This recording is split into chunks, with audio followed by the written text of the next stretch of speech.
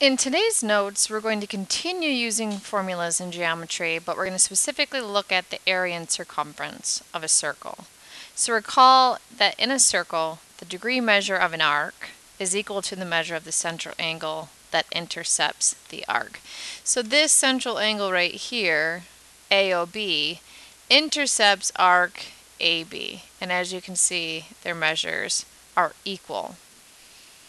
Okay, in the first column of the table, let's review the area and circumference formulas. So parts of the circle are drawn and then the circumference laid flat as that's the distance around.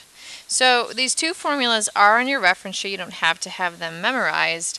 Area of a circle is pi times r squared and circumference is pi times diameter or 2 pi times the radius, as the diameter is 2 radii.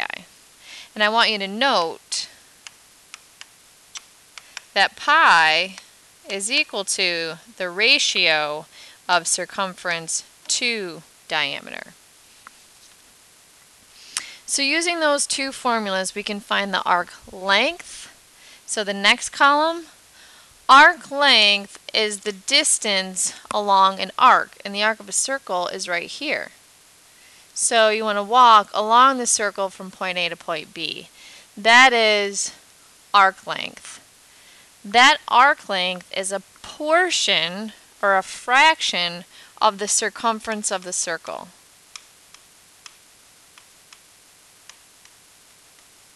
Moving right, a sector of a circle is this whole area right here. It's like a piece of pie or a slice of pizza. And that's a portion of the area of a circle. So if you look at that portion or fraction, that's a part of the whole. And in a circle, we have 360 degrees. So this degree measure, I'm going to call it theta, so it's that degree measure over 360, that portion times 2 pi r. Once again, how much of the circle? The portion, theta over 360, times the total area, pi r squared. You can look at this also in terms of ratios. So the left side of the ratio would be the same, theta over 360. So that's how much the circle out of 360 equal to the arc length because that deals with the part where the whole deals with the circumference which is 2 pi r. In terms of ratios for area, it's theta over 360 equals the area of a sector, so when you do it in terms of a pie piece, to the area of the whole thing, which is pi r squared.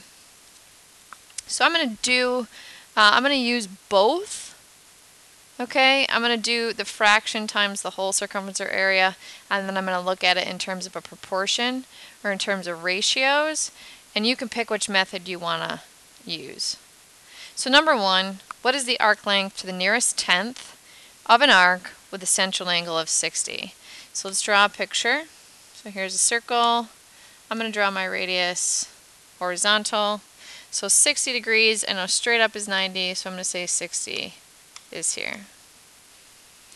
The radius of the circle is 5 inches. So 5 inches. We're looking for arc length, so I'm looking for this here. So I'm going to first do it method one as a fraction of the whole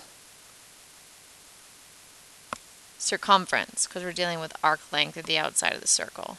So it's 60 degrees out of 360 times 2 pi r. So 2 pi times 5. Now when you reduce the fraction, 60 goes into itself once, 60 goes into 360 six times. Put this over 1 and multiply straight across. 1 times 2 pi times 5 is 10 pi. over 6, which reduces to 5 pi over 3. And then we'll go to the calculator. The other method, okay, so you can do it that way or this method, is to say, well, 60 over 360 equals, now since I'm trying to find the arc length, I'm going to call this x and the proportion over the whole circumference for a total of 360, um, which is 2 pi times 5, we said before, uh, 10 pi. So if we reduce again 1 over 6 and do a cross product, we have 6x equals 1 times 2 times pi times 5, or 10 pi. Divide by 6, and x is equal to 10 pi over 6, which is the same thing we get here. So when we type 5 pi over 3,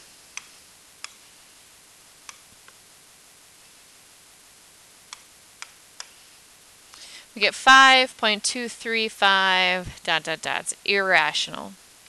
We're rounding to the nearest tenth, so it'd be approximately, what is the arc length? The arc length is approximately 5.2. Now on your state test, you would want to show that this decimal is 5.235987756, so we can at least get you a point if you make a rounding error. All right, number two. Find the central angle of the circle below to the nearest tenth given the arc length and radius. So this arc length goes with this portion of the circle. So here would be in this angle theta. We have a radius of 15. So if I know the arc length, so I got 56.9 by doing theta over 360, because that was your fraction of the total circumference. So that would be times 2 pi times 15. Or you could set it up as, okay, theta over 360 equals, so it's the area, or in this case, the arc length of the circle to the circumference of the circle. And we know that the arc length is 56.9 to 2 pi times 15. And that looks like 16.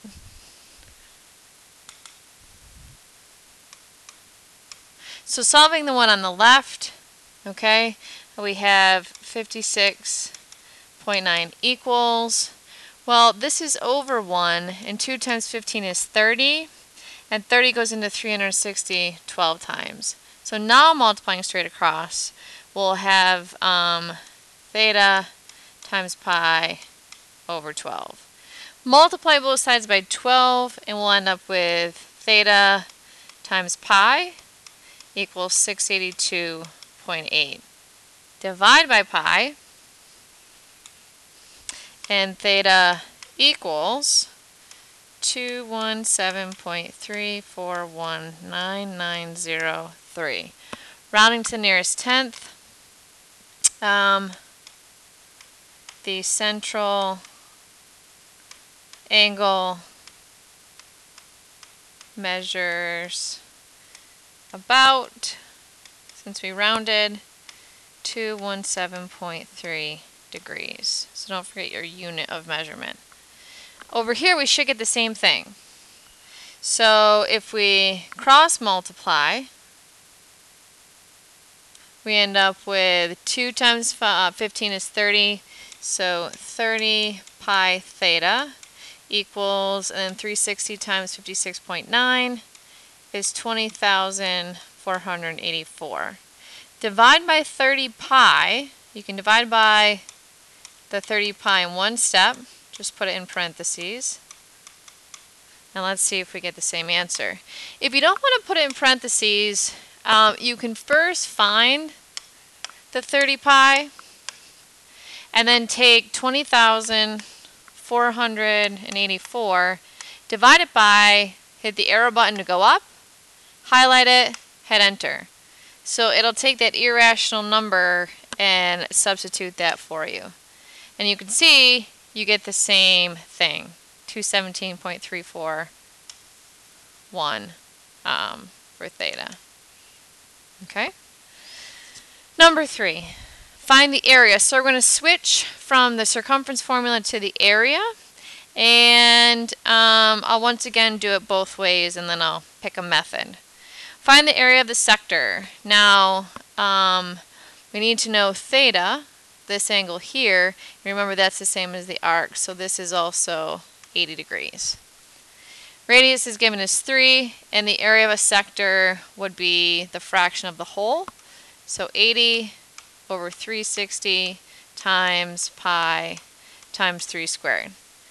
If you'd like to set it up as a proportion, it's 80 over 360 equals x, which is the area of the sector, over the whole area, which is pi times 3 squared. So 80 over 360, can we divide it by 40? Um, and 10, let's divide it by 10 first. Let's, I'm going to do 10, so this is 8 over 36 because 3 squared is 9 and 9 goes into 36 four times and then 8 over 4 um, is 2 and bring down the pi. So a lot of reducing there and canceling. Over here it would be 360x equals 80 times 9 pi is 3 squared is 9, which would be 720 pi. Divide by 360 and x equals 2 pi. And if you're finding an area, it should be in terms of pi, um, and also says in terms of pi. Okay, so the area of the sector equals 2 pi inches squared. Last two. Says the gray sector area is equal to 30 pi inches squared. What is the radius of the circle? And then, given the area of the sector, what's the area of the whole circle? Okay. Um, part A. So the area of the sector, which is 30 pi, equals what? So we put in how we, or how they found that, which was 300 over 360 times pi r squared. We can divide out the pi. We can also reduce, 60 goes in there 5 times, 60 goes in there 6 times, and we end up with 30 equals 5r squared over 6. Multiply by 6, 180 equals 5r squared. Divide by 5, and we have r squared equal to 36. Undo the square with the square root, and the radius is 6 and negative 6.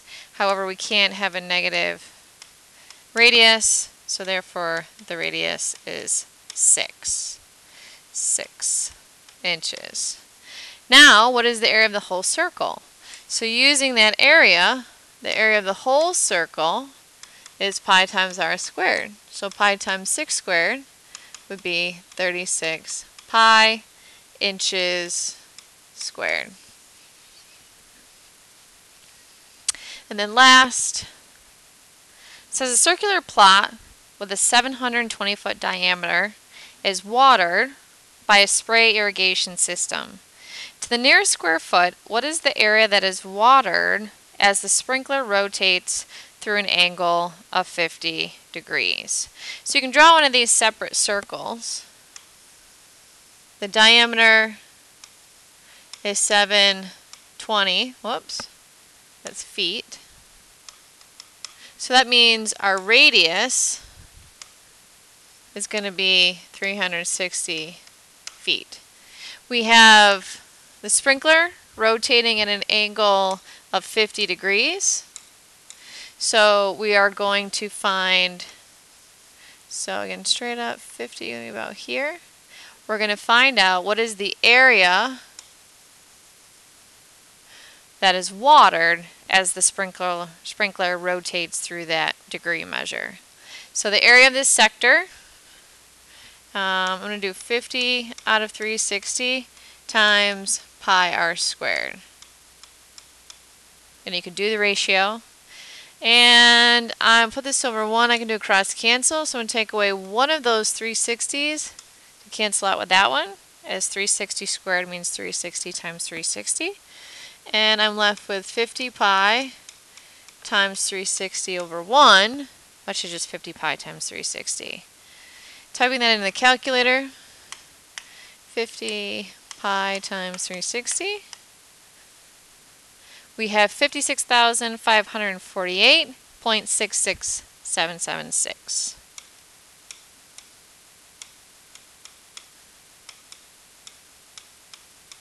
We're rounding to the nearest square foot. So about or approximately 56,549 square feet is watered.